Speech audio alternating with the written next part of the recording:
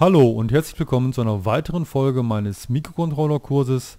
Beim letzten Mal haben wir uns angeguckt, wie man mit While Schleifen programmieren kann. Äh, wir haben das genutzt, um eine Zeitverzögerung in unser Mikrocontroller-Programm äh, einzubauen. Äh, heute möchte ich zeigen, dass es noch weitere Möglichkeiten gibt und eine Möglichkeit ist, äh, Do-While zu verwenden. Und ich möchte zeigen, wo der Unterschied zwischen While und Do-While liegt. Gehen wir am besten direkt in den Compiler. Ähm, da haben wir noch den Stand vom letzten Mal. Ähm, dort hatten wir diese Wait-Funktion geschrieben und ähm, hatten hier diese Schleife und die Schleife ist äh, so lange äh, durchlaufen worden, solange i kleiner gleich 50.000 ist. Ähm, wir können dieses while ersetzen durch ein do-while. Ich äh, trage das mal eben ein. Und später schauen wir uns nochmal an, wie dieses Do-While genau funktioniert. Also er macht folgende, folgendes, er führt letztendlich dieses i++ durch und schaut erst anschließend nach, ob i kleiner gleich 50.000 ist. Also er durchläuft auf jeden Fall einmal diese Schleife und erst zum Schluss wird geschaut, ob i kleiner gleich 50.000 ist. Bei while war das anders. Das gucken wir uns gleich im Detail an. Ich rufe erstmal den Compiler auf und ähm, lade das Programm einmal auf den Emulator und äh, wir werden dann sehen, dass ähm, das Programm genauso funktioniert wie vorher auch.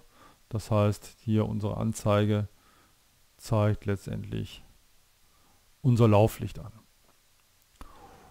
Okay, gehen wir zurück in den Editor und ähm, schauen uns jetzt mal an, wie, wo genau der Unterschied liegt. Ähm, ich brauche dazu nochmal eine Variable. Ich nehme die Variable mal ähm, k, ich nehme einen Integer, Integer k und ähm, führe das Ganze mal hier oben aus. Nach diesem Los geht's. Setze ich nur zunächst einmal k gleich 0 und ähm, schreibe folgendes, while k kleiner als 3 beispielsweise ist, soll er im Prinzip das k ausgeben. Ein printf und dann k beträgt und da soll er im Prinzip das k ausgeben eine Leerzeile anfügen. Und dann im nächsten Befehl k einfach inkrementieren. Was er macht ist folgendes, er ähm, initialisiert k auf 0, dann überprüft er, ist 0 kleiner als 3, ja das ist der Fall, das heißt er springt in diesen Block und ähm, gibt k aus, also gibt die 0 aus, k beträgt 0, dann inkrementiert er, inkrementiert er k auf 1 und ähm, springt wieder zurück, überprüft, ob 1 auch kleiner als 3 ist, auch das ist der Fall, springt wieder hier rein und so weiter. Irgendwann ist k gleich 2, das heißt, ähm, er überprüft hier oben, ist 2 kleiner als 3, ja das ist der Fall, er gibt also die 2 aus, inkrementiert dann k auf 3, überprüft dann ist 3 kleiner als 3, das ist nicht der Fall, das heißt, er beendet einfach dann diese While-Schleife. Das heißt, er zählt von 0 bis 2. Schauen wir uns das mal an, kompilieren das Ganze und laden das Programm mal auf den Emulator.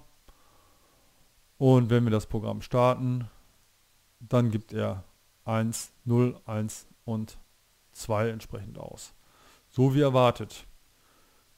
Gehen wir nochmal zurück in den Editor und äh, tauschen das while mal gegen das do while aus.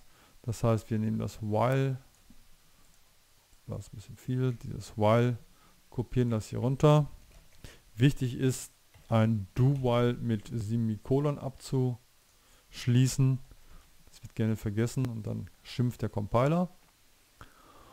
Und wo jetzt der Unterschied liegt, äh, in der Ausführung eigentlich gar nicht, sondern, ähm, also in der Ausgabe nicht, sondern nachher in der Ausführung schon. Ähm, er gibt im Prinzip die 0 aus. Ne? 0, k wird auf 0 initialisiert. Er gibt die 0 aus, inkrementiert auf 1 und überprüft dann, ob k kleiner als 3 ist. 1 ist kleiner als 3, das heißt, er springt dann nach oben und gibt dann äh, letztendlich dann äh, den nächsten Wert aus. Das macht er so lange, bis k gleich 2 ist, also die 2 ausgegeben. Dann inkrementiert er den Wert auf 3 und überprüft dann, ob 3 kleiner als 3 ist. Ähm, 3 ist nicht kleiner als 3, das heißt, er springt dann nicht nach oben, sondern läuft entsprechend weiter. Das heißt, wir erwarten quasi die gleiche, die gleiche Ausgabe. Er zählt von, 1, äh, von 0 bis 2. So, starten das Ganze mal 0, 1, 2. Okay, das macht er genau so, wie wir das erwarten. Der Unterschied ist aber, bei dem Do-While wird, die, äh, wird dieser Block auf jeden Fall ausgeführt. Also ich schreibe mal k gleich 10 und ähm, er springt also in den Block, gibt die 10 aus, inkrementiert auf 11 und äh, überprüft ist 11 kleiner als 3, das ist nicht der Fall und springt entsprechend raus. Das heißt, er wird nur die Zahl 10 ausgeben Ich starte das mal. Er gibt die Zahl 10 aus und äh, läuft dann weiter. Wenn das aber ein, eine While-Schleife gewesen wäre, ich ändere das mal in die While-Schleife, ähm, kopiere im Prinzip das wieder hier hoch. So. Und kompiliere das dann noch einmal.